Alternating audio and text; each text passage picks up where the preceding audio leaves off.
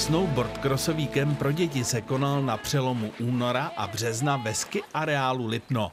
Mezi účastníky se našli zkušení jezdci i jeden začátečník. Jsou hrozně šikovní, strašně se zlepšují, je to znát. No. Ta trať je jakoby super, pěkný zatáčky, boule, takže každý den je znát. Teď vám ukážou starty a souboje mezi sebou vlastně jako rozjížky, jak se správně jakoby vytahovat na boulích, jezdit v zatáčkách a jak závodí.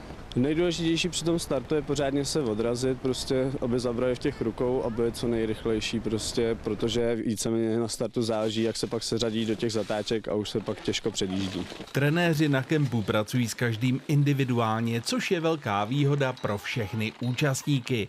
Kromě ježdění se probírá i správná údržba snowboardů, základy první pomoci, lavinová tématika nebo rozdíly mezi snowboardy. Snowboard cross dělám čtyři roky a přihlásil jsem se sem, protože mě to baví, tady s dětskama a s trenérama. A odkud jsi?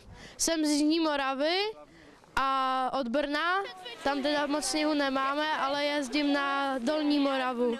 Ti zkušenější se umí o své dovednosti podělit se začátečníky a největším vzorem jim je nejúspěšnější česká snowboard krosařka, která má nad kempy záštitu. Učím se tady, co potřebuju, učím i něco malí děti, kteří ještě snowboard cross nedělali a je to tady super. Sledoval jsi na olympiádě Evu Samkovou? Jasně, sledoval jsem, ve dvě jsem vstával kvůli tomu, Jo, byl to super úspěch, třetí místo. Vevka s náma někdy jezdí na kempy, trénuje nás, takže máme radost. Na svahu působili všichni snowboard krosaři jako dobrý tým a každý měl velkou motivaci se naučit něco nového. No, já jsem se hlavně naučil držet nohy při skoku jako dost vysoko a tak nějaký triky, jen tak pro zábavu znám. No a jak dlouho ty snowboarduješ? Já snowboarduju dva a půl roku a cross jezdím tak rok. A co trenéři? No, někdy zloby, ale, ale my taky, takže ono se to tak obrací, že jo. Tak snad za čas budou někteří z nich následovat snowboard crossovou ikonu, která je jim inspirací. Všichni hrozně fandili, my vlastně jsme byli na kempu taky, takže jsme měli přehled, takže super a strašně to motivovalo a chtějí být teď všichni jako Eva.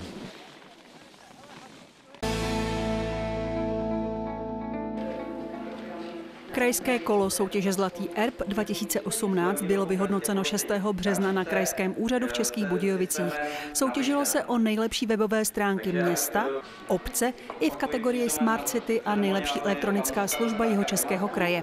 Máme tady tradičně úspěšné, máme tady nové i malé obce a mě to hrozně těší, že se obce řekla bych někdy na rozdíl od státu, dokážou prostě s tímhletím poprat a, a udělat krásné a nápadité aplikace.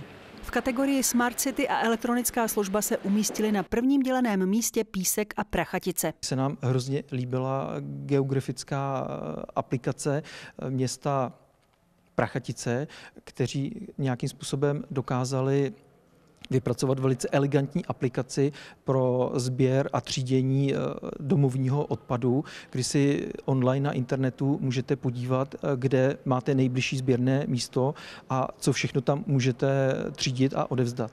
Na druhou stranu jsme bojovali i s tím, že se nám velice líbil parkovací systém města Písek, které již delší dobu se v kategorii Smart City, těch chytrých měst, takzvaných chytrých měst, vždycky objevuje na čelných místech a ta jejich aplikace inteligentního parkování je opravdu, opravdu velice propracovaná a má i veliká, veliký potenciál dalšího rozvoje do budoucna. V Prachaticích máme 66 sběrných míst a víc jak 300 kontejnerů, takže to nebyla vůbec jednoduchá záležitost. Aplikace funguje zhruba rok a pochopitelně je využívaná a rádi bychom ji ještě dovybavili. Prachatičtí brali také druhé místo za webové stránky města.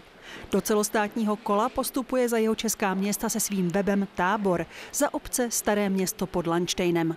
Slavnostní vyhlášení již 20. ročníku Zlatého erbu, kam se letos zapojilo všech 14 krajů, se bude konat 9. dubna.